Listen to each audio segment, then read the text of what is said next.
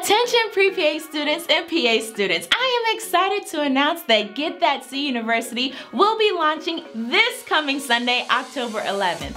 Get That C University is the coolest place to help you get into PA school and through PA school. So go right now to getthatcuniversity.com and sign up so you can be the first to know when the site launches. And in celebration of the launch of Get That C University, I will be coming out with a brand new video every day this week answering all of your questions. So leave a comment in the comment section below and tune in to see if your comment is one of those that I answer. Go on over to Get That C University right now and sign up so we can help you get that C.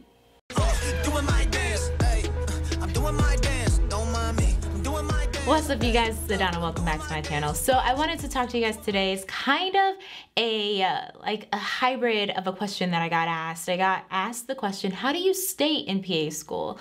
Um, which made sense to me because it's like once you've gotten in, well, how do you stay there, right? Because you don't want to get kicked out. So that is what this video is going to be about. I'll be talking to you about how do you continue on or get through PA school or not get kicked out of PA school, um, all of those things in this one video coming up. All right right, so how do you not get kicked out of PA school or how do you like matriculate through PA school? And that is a question that I think a lot of us have when we're going into PA school because we hear like, oh my gosh, it's so hard, it's really difficult to get into PA school or, you know, it wasn't that difficult. Like um, for those of us or those of you that may have had like a really easy road to PA school, you know, you're like, oh, it wasn't too bad, so I know I'll make it. But for the majority, there is some type of like trepidation and a little little bit of concern while you get into PA school, like how am I gonna make sure that I make it through?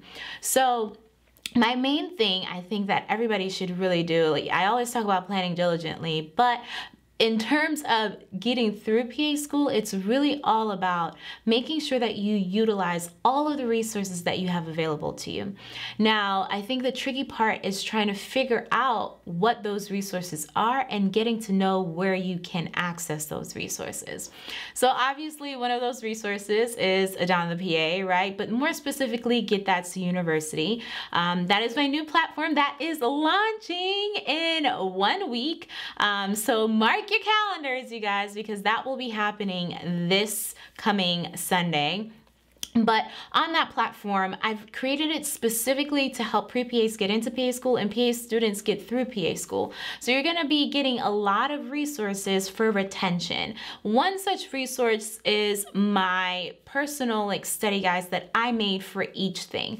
Um, each of the various different like sections that we went through through my medical practice class.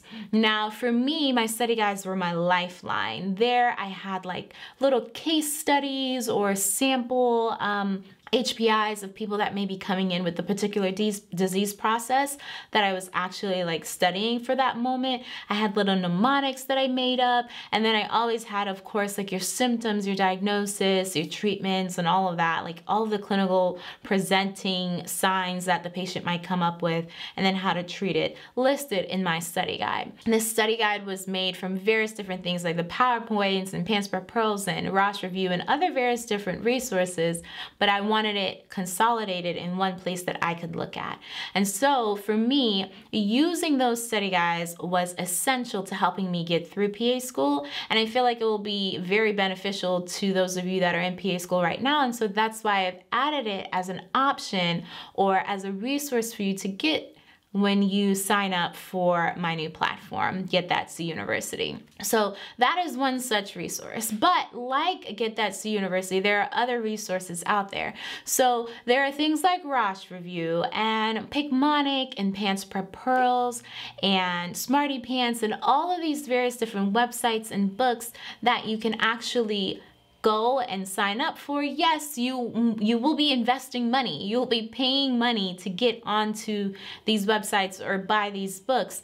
But in the grand scheme of things, I mean, it's a really small price to pay for this career that you've been like vying after for a long time and you're in school. So you're trying to matriculate. You're trying to ensure that you don't fall by the wayside and you know like flunk out or get kicked out or whatever the case may be okay?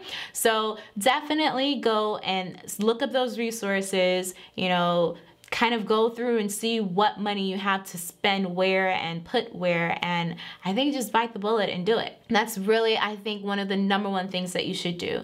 Um, find those like study resources. Now, another resource that is beneficial to you is obviously your classmates. So when I was in PA school, um, I had like my core group of, you know, friends that I would study with, and then I had like other little groups that I would study with from time to time for different subject matters because I knew like there were things that I was really, really strong in, like anatomy and physiology, but there were things that I may have been a little bit weaker in, like pathophysiology. So for the students that were stronger in that, I I would study with them because it would just benefit me to glean that information from them.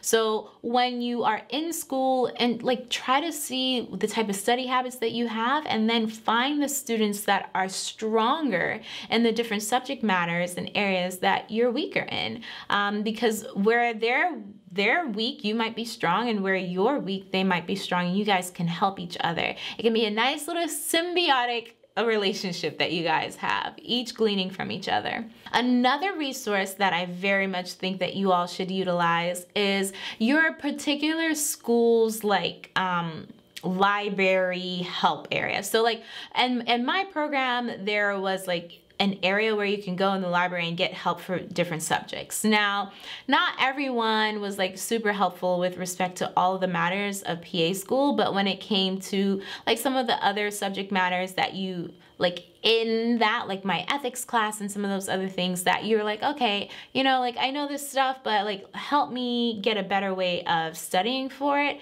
that that particular um, area in the library, like my librarian that helped me out, like find books and all that that stuff, that was beneficial. Um, now it may be called something different or called something specific at your school, but you can just ask them for like your student services where you would go to actually get the help um, on main campus for some of like study habits and study tips okay? Now, like the big, big resource that you can also use, of course, is your teachers. So for me, I did a lot of like, hey, you know, like I noticed that I got this wrong, or, um, you know, I'm struggling a little bit with this concept. Is there some books that you might suggest that I go to look at, or is there a website that I can go to that might have some information, or can you help me specifically, Professor so and so, just kind of grasp these concepts. And never was any of my teachers like, no, Donna, I'm not going to help you. You got to figure this out on your own. They were always willing, and most teachers are. Like, if you're not willing, then you're pretty trash teacher. And I don't think that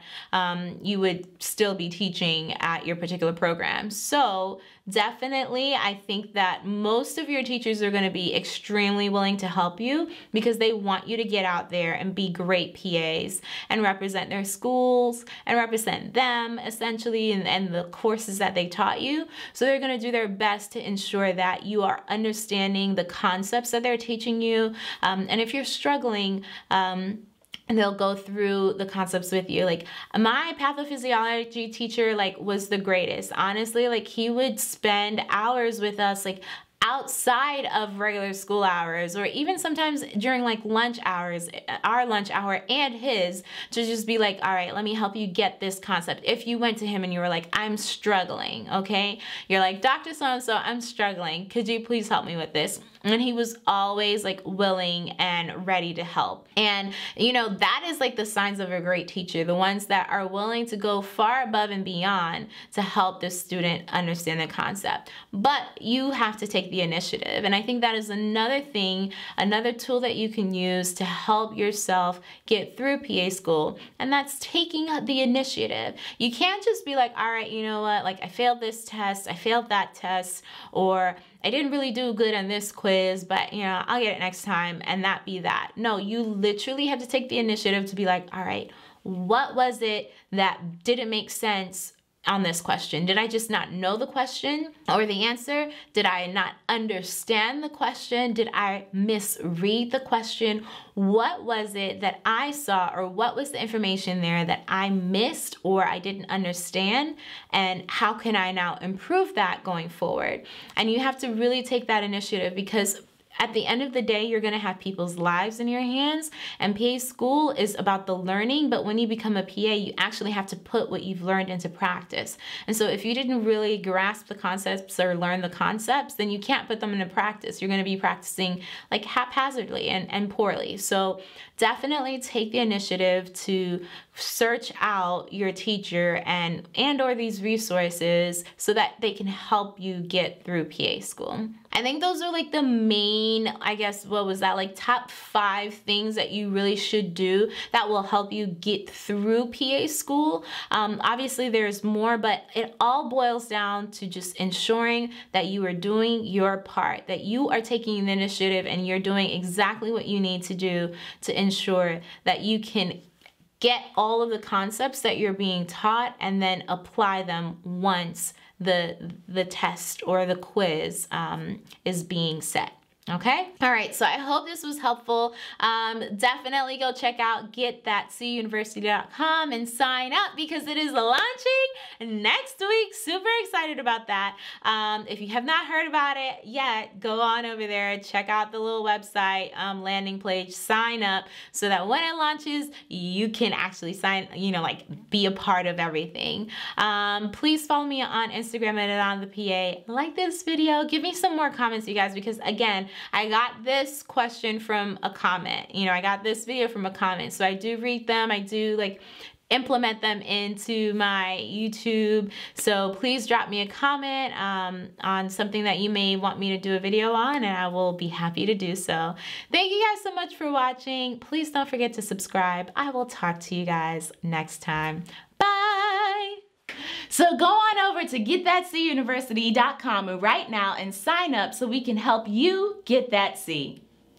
what are you doing? What are you doing? I can't. You can't. I Just can't. smile. I can't keep that smile. It's weird. Uh, like and my mouth starts to go. Ugh. Just freaking smile at the camera. oh gosh.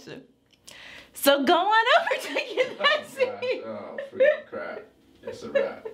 It's a wrap. It's a wrap. I'm ready. I'm ready. I'm ready. I'm ready. Come on, baby. So go on. We're done. We're done. We're done. F it.